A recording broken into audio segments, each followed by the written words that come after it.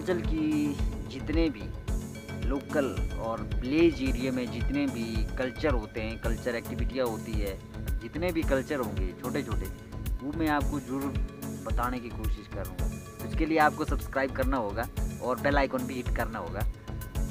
आप मुझे इंस्टाग्राम पे भी फॉलो कर सकते हैं। लिंक आपको डिस्क्रिप्शन में भी मिल जाएगा।